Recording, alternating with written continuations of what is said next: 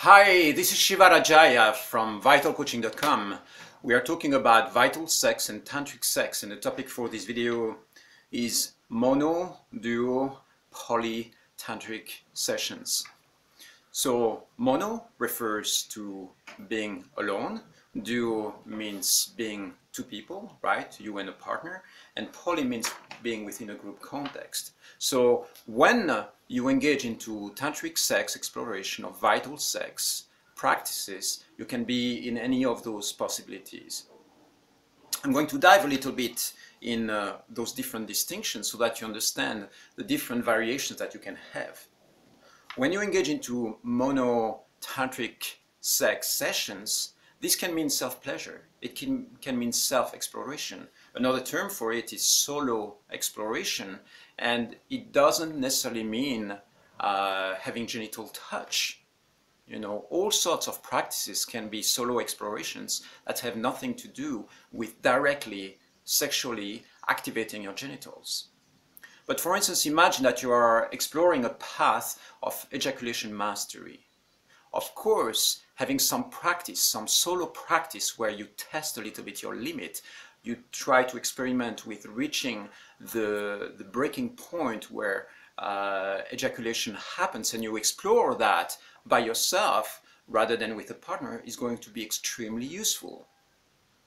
So this, uh, this is one, one possibility, but another one is to engage into softer sensual exploration. For instance, you can use learn how to massage your own body using oils and sensuality and really explore the different sensations. You can also start activating your different chakras, you know, massaging your, your third eye while there is a little bit of uh, sexual stimulation. You can engage in various forms of breathing techniques. You can engage into orgasmic sounds and uh, you can engage in other forms of, uh, of, of play, like for instance deciding to be naked or uh, dancing naked or being in nature and uh, having a little bit of uh, sexual stimulation in a context, you know, for instance in, in a river or by the ocean and uh, really exploring these different levels of, of pleasure when nobody else is involved it is sacred, okay? Let's put that within the context. This is your pleasure,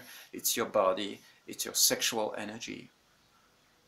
We put that within the context of total sacredness, within the context of it is your pleasure, it is your body, it is your right to explore that as a human being.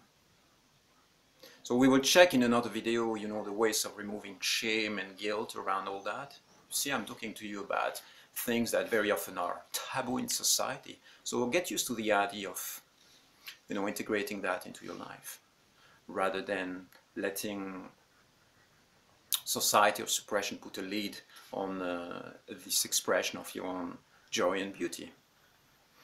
The um, second expression is of course when you are in a couple situation with your lover.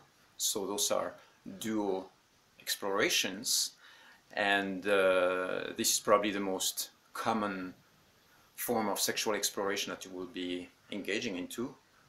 That's unless you are single and you have no partner right now. Um, so when you engage into duo exploration, of course, there is a, a direct connection with your lover and, uh, and your partner. And we have lots of possible rituals and practice and techniques to explore all that. When we engage into poly exploration or polytantric sex sessions. Again, it doesn't mean that uh, this is going to be group, sex, group sex where everybody is having intercourse with everybody. This might be the fantasy that you have in your mind, and that's fine. But most of the times, you know, it's going to be something that looks a little bit different. It can be, for instance, a circle of men in the center, surrounded by a circle of women, and we keep shifting partner while making eye contact or while breathing together or while having a short one minute conversation about a specific aspect of the sexual exploration. Uh, another possibility would be to, to have a big uh, space where we are dancing together and uh, establishing sensual contact with different, different partners. It could also be in a context where it's polarized on just one person, but other couples are present in, in the scene.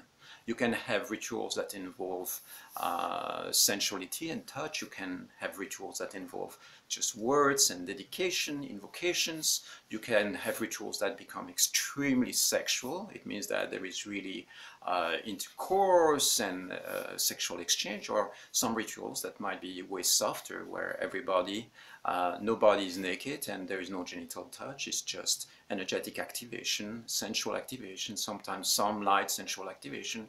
Sometimes we enter into more sexual practices without physical contact, it means that you can really start activating your, your kundalini fire, your sexual energy without even touching another partner. So it's a wide, wide range of possibilities. Usually when we think of sex in society, uh, most of the times the images that come to mind is two people having intercourse. And if we say, uh, the, if we use the term group sex, most of the times you will see the scene that comes to mind is a group of people who are having sex, intercourse.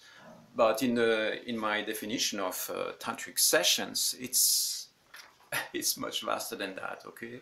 I'm not here to judge the different practices, I'm just telling you that there is wide range of possibilities. So expand your consciousness, expand your mind, get, get rid of the narrow perceptions and don't put labels on things uh, that would be diminishing for, for the practice.